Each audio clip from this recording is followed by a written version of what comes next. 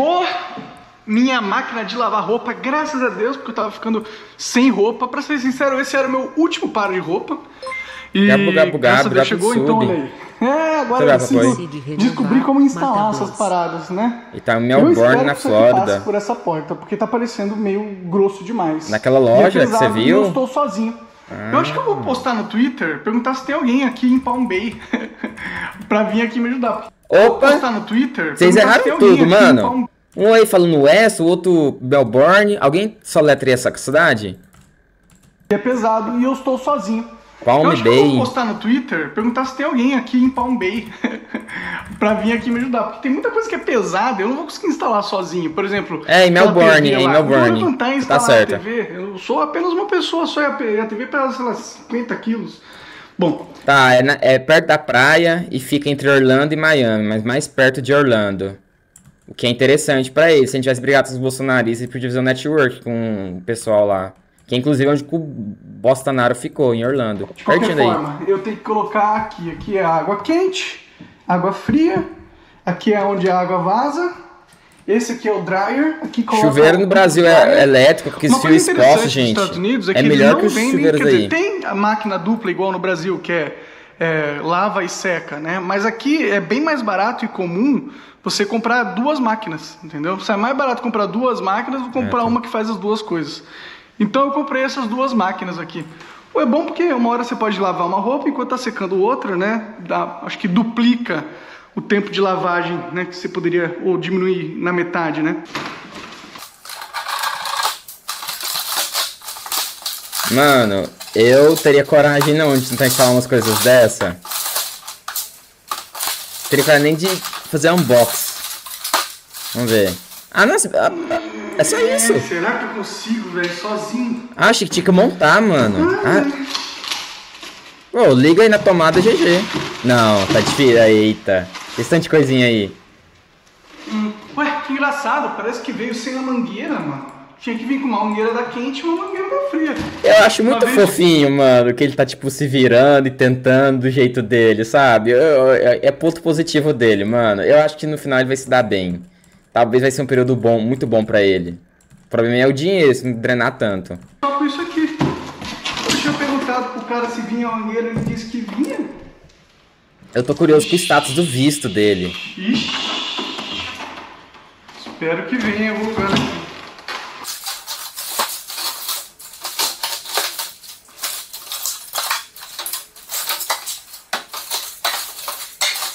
Ele- eu acho que ele não pode ficar mais de seis meses aí.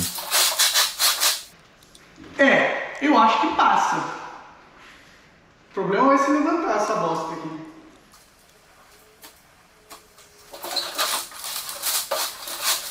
Outra coisa, pra cada segundo ou dia que ele gasta fazendo esses perrengues aqui, mano, é um dia menos produtivo dele, né? Pra alavancar as coisas dele pra ganhar mais dinheiro.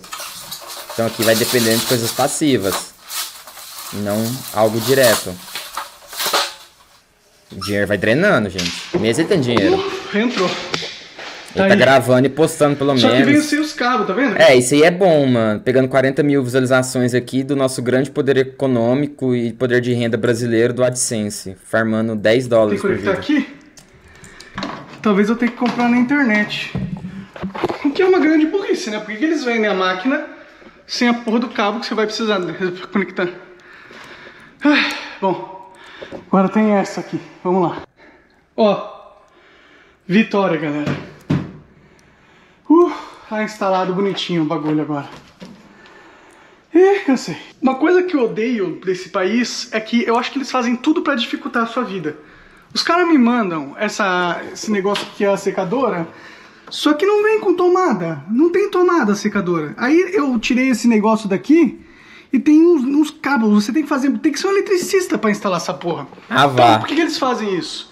Eles fazem isso pra eu ter que chamar alguém pra instalar e perder uma grana. Tudo nesse país aqui é pra você perder uma Ah, ele grana. tá- ele tá reclamando Nada pode ser muito, mano, da grana. Não pode só pegar e conseguir as coisas fácil. Ele tá Você tem reclamando alguém, muito. entendeu? Nossa, que raiva. Eu achei que eu ia conseguir só instalar essa merda. Tô falando, Não, mano, tenho que esperar encontrar alguém pra fazer um trabalho de eletricista, porque o, a porra do bagulho não podia vir com cabo. Que liga, desliga. Não, não dava pra colocar no design deles, um cabo. Um cabo de ligar, um cabo de tomada. Era muito revolucionário para eles pensarem nisso. Ai, meu Deus do céu, às vezes eu dá vontade de voltar pro Brasil, viu? Segunda vez que ele fala Tô, isso fico bem com ele. frustrado com a vida. Ó. Dá vontade de voltar pro Brasil, viu? Ó o. Ó o frame. Nossa. Tô ficando bem frustrado com a vida aqui, viu?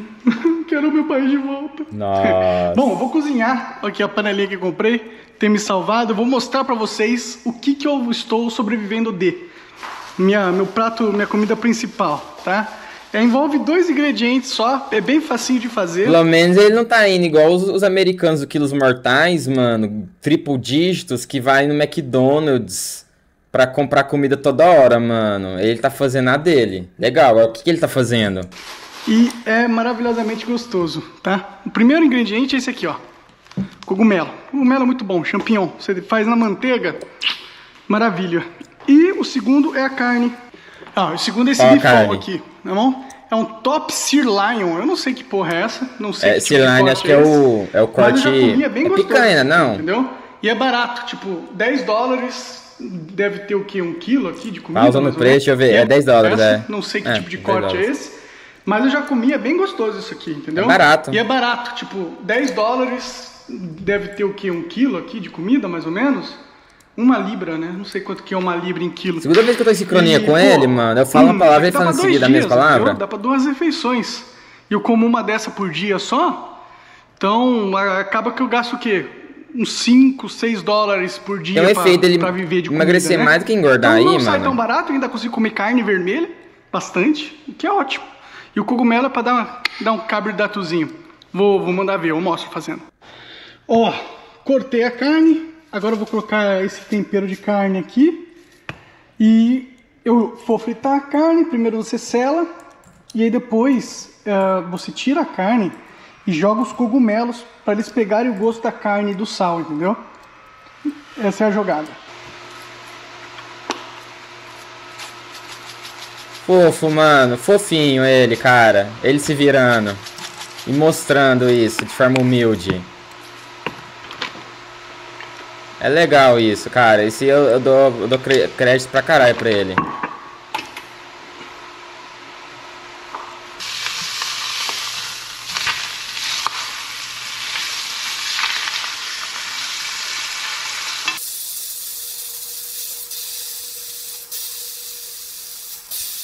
Quem lembra de uma época que eu, ta- eu morava no os lados, tá galera? E aí eu tinha uma churrasqueira, mano, que eu fui fazer uma carne moída, eu fiz, como- eu fiz o vlog, mandei pra vocês. Nos comentários do vídeo só tinha gente falando pra eu nunca mais fazer carne moída daquele jeito. Que dava até câncer, mano. O jeito que eu fiz ela lá, nem sei explicar o que, que é, mas. Quem lembra desse vlog? Se não sai líquido da carne, ela fica dura.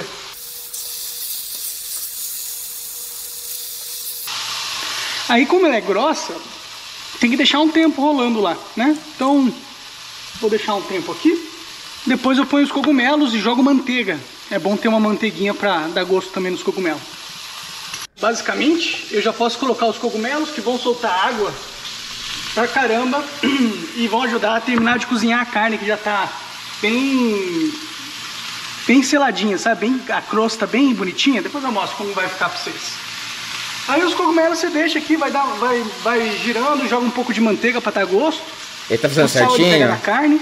E é isso basicamente. Vamos ver como que ficou por dentro, essa belezinha aqui. Aí, ó. Tá bem no, bem no ponto. Tá ok. né? Talvez lá mais pra dentro esteja um pouquinho mais crua. Mas eu gosto de carne assim, vermelhinha por dentro, entendeu? Aí vou pôr os cogumelos por cima e acabou. Como. Como felizão. Vamos ver. Hum. Ah, bom demais. O segredo desses cogumelos é deixar eles soltarem bastante água. Aí eles vão ficar douradinhos assim como vocês estão vendo. Tá vendo aquela parte que tava meio queimada embaixo? Eles vão absorvendo. Aquilo é sabor, entendeu? Eu achei Eles o absorvem vídeo. esse sabor e ficam mais torradinhos e com o gosto da gordura da carne, sabe? Do, saiu da carne de gordura e do sal. Aí eles devem ficar prontos rapidinho. eu fiz um vídeo muito parecido com o dele. E aí? Ah, eu consigo ver. Mas eu vou tentar superar um pouco minha vergonha. Não, não consigo. Não consigo, infelizmente. Muita, muita, muita, muito, muita emoção. Eu preciso. Vai. Não vou, só vou mostrar fazendo a carne. Cadê? Ah, não tem nesse vídeo aqui não, mano. Ah, achei que tava eu fazendo a carne aqui, mano. Desculpa, eu não vou ver não, cara. Nope. É só sair Coisas minhas, peço perdão. e Eles ficarem bem du- du- do- é, douradinhos assim, sabe? Aí pega e joga em cima da carne. Fiquei até Temos ansioso. almoço, temos uma refeição saudável, barata e muito gostosa, né? Se um dia a política não der mais certo, falar sobre podcast, eu vou fazer um negócio de culinária. Mas é legal isso, comida Vou dele. terminar aqui que eu tiver pronto eu mostro. Voa lá, galera. Tá aqui minha refeição.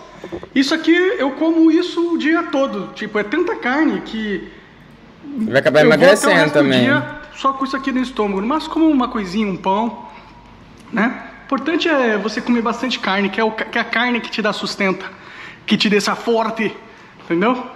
Mas tá bom, esse foi meu mini show de culinária aqui pra vocês. Eu tava olhando na internet, acabei de almoçar, viu? Muito bom, inclusive. Tava olhando na internet e não vou precisar chamar ninguém pra instalar aquelas, esse negócio não.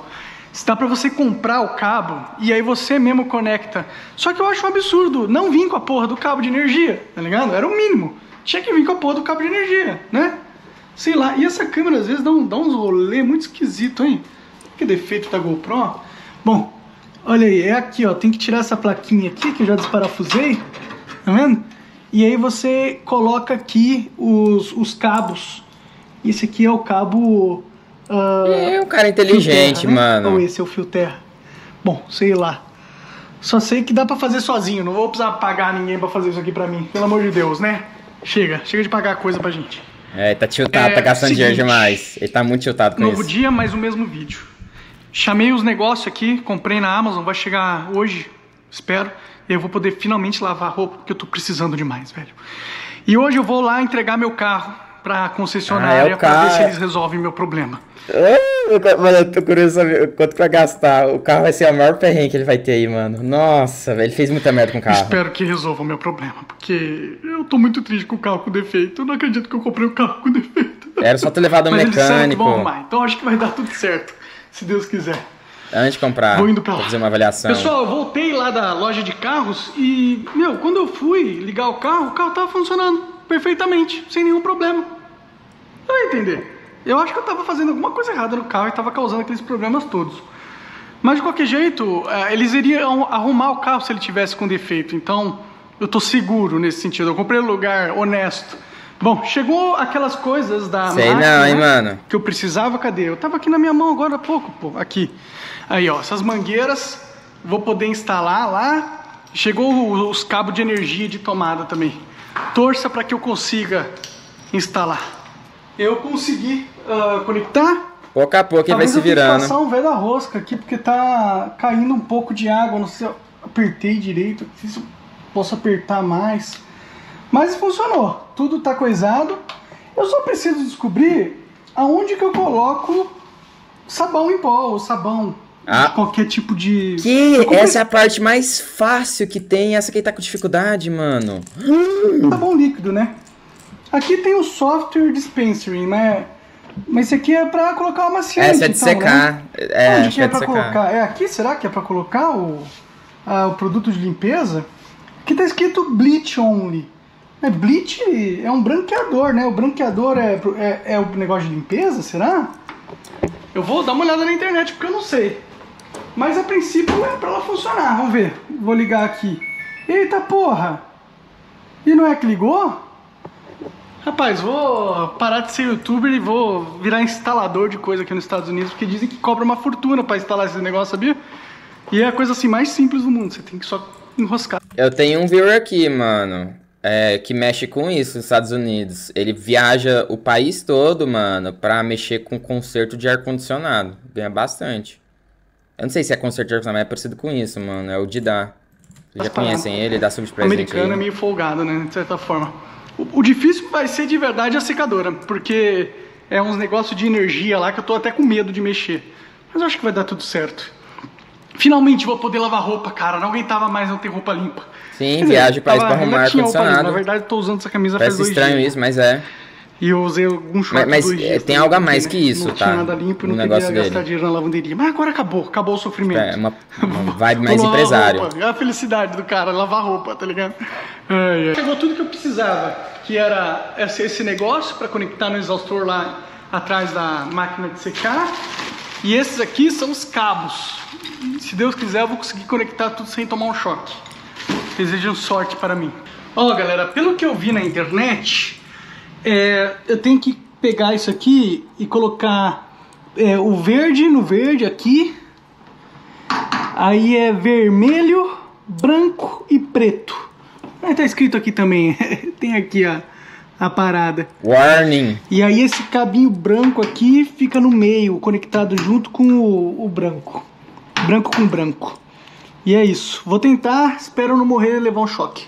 Não vou levar choque porque não tá ligado na tomada, né? Espero não queimar o negócio quando eu ligar na tomada. Aí, galera. Tá conectado. Espero, espero que não vá queimar. Vamos tentar ligar. Não, mas ainda falta eu conectar o exaustor aqui, tá vendo? Tem que conectar esses exaustores antes de eu, de eu ligar. Lá vamos nós.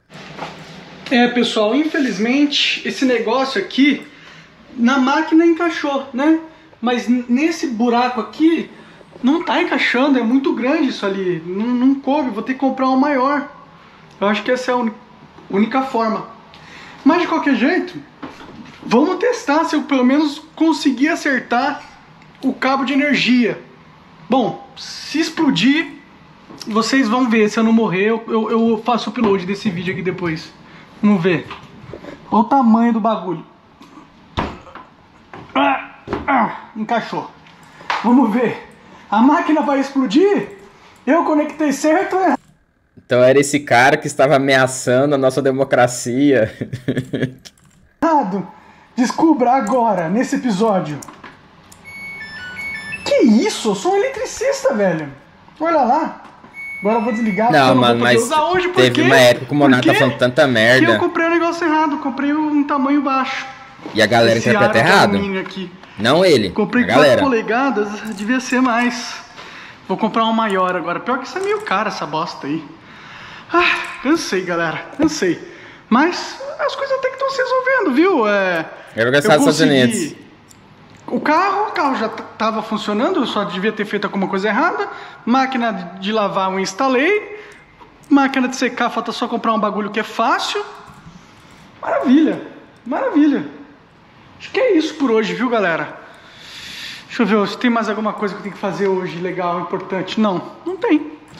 Próximo episódio, quem sabe, não sei, não vou prometer nada, eu vou pra praia. Vamos ver qual é da praia aqui em Palm Bay. Aí eu mostro pra vocês. Vou comer um sorvete também. Vai- tá vai tá de calor, cuequinha? Tá bom? Mas por esse episódio é, é, é isso. Tchau, até mais. Esse que é o último. Ele na Pride.